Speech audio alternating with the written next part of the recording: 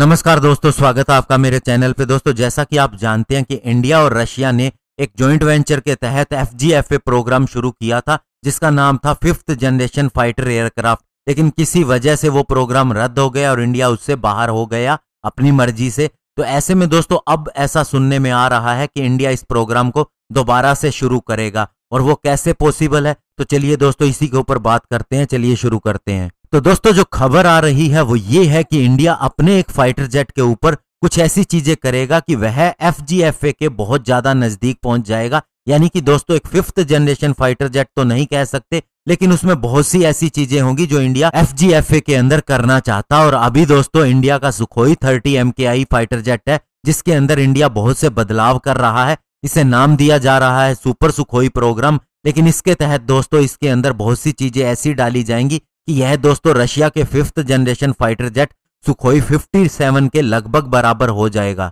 दोस्तों, Sukhoi 30 M K आई को खरीदे हुए हमें 16 साल हो गए और इसे लाइसेंस मैन्युफैक्चरिंग के तहत इंडिया में ही बनाया गया है और ये बहुत ही केपेबल ट्विन इंजन फाइटर है और दुनिया का सबसे ज़्यादा मिनूवरेबल फाइटर जेट माना जाता है। और उसके बाद दोस्तों इंडिया और रशिया ने बहुत सी नई टेक्नोलॉजीज़ विकसित की हैं जिसकी सहायता से दोस्तों अब इसे अपग्रेड करने के प्रयास किए जा रहे हैं। इससे पहले दोस्तों रशिया की मदद से हमने मिग 21, मिग 27, मिग 29 को भी अपग्रेड किया है लेकिन दोस्तों सुखोई 30 एम ऐसा फाइटर जेट है जो लंबे समय तक चलेगा इसकी बनावट भी ऐसी है। तो ऐसे में दोस्तों मॉडर्न डे वारफेयर की बहुत सी चीज़ें इसके अंदर डाली जा रही हैं और इसके अलावा रशिया से बात हो चुकी है इसके अंदर बहुत सी चीज़ों में बदलाव किया जाएगा, जिसकी मैं बात आपको बताऊँगा। तो दोस्तों, सबसे पहले बात आती है रडार की। अभी जो सुखोई 30 एम के अंदर रडार है, वो 400 किलोमीटर की रेंज तक ऑब्जेक्ट को ढूंढ सकता है और 200 किलोमीटर तक उनके साथ में ट्रैक कर सकता है। तभी बहुत से लोग इसे ये भी कहते हैं कि ये एक मिनी अवाक्स है,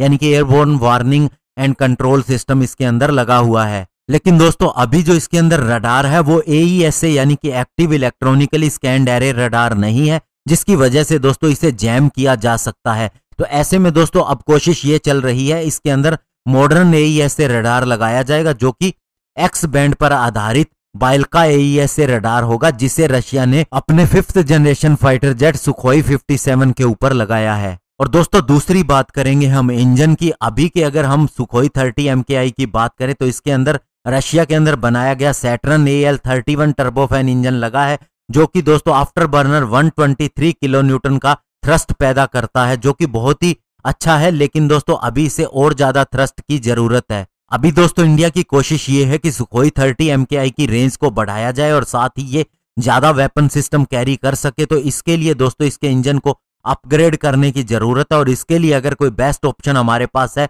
तो वो है इसडिलिए थर्टी इंजन, जो कि दोस्तों 176 किलो न्यूटन का थ्रस्ट पैदा करता है। तो आप समझ सकते हैं कि सुखोई 30 की पावर इसके लगने के बाद कितनी बढ़ जाएगी और कितने वेपन ये कैरी कर पाएगा। हालाँकि दोस्तों एक ऑप्शन हमारे पास सुखोई 35 के इंजन का भी है, जो कि दोस्तों A L forty one F one S engine है, लेकिन ये 142.2 किलो न्यूटन का थ्रस्ट पैदा करता है।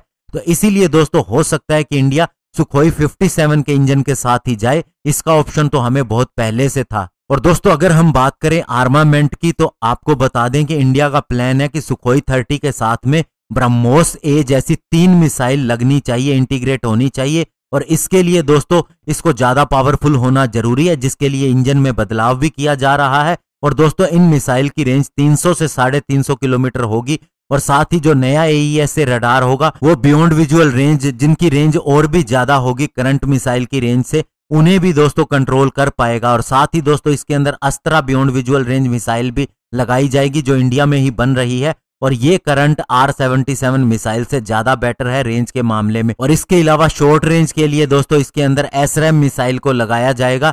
और दोस्तों इन सारी चीज़ों से सुखोई थर्टी एम की वेपनरी बहुत ज़्यादा स्ट्रोंग हो जाएगी। और वहीं दोस्तों, अगर हम एवियोनिक्स की बात करें तो अभी सुखोई थर्टी के ऊपर एनालॉग एवियोनिक्स लगे हैं, जो कि दोस्तों, बहुत से सब सिस्टम के साथ में है, जो कि इसराइल रशिया और फ्रांस में बने हैं, और इन सभी को रशिया के मॉडर्न डिजिटल एवियोनिक्स के साथ में रिप्लेस किया जाएगा। और इसके अलावा दोस्तों, इसके अंदर जो सबसे बड़ा परिवर्तन किया जाएगा, वो होगा इसके रडार क्रॉस सेक्शन को कम करना। इसके लिए भी बहुत से प्रयास किए जा रहे हैं, और साथ ही दोस्तों, हो सकता है कि इसके डायनामिक्स के अंदर भी या इसके स्ट्रक्चर के अंदर भी चेंज किया जाए, ऐसा भी पॉसिबल है। तो इससे दोस्तों, इसके अंदर स्टेल्थ फीचर भी आ जाएँगे।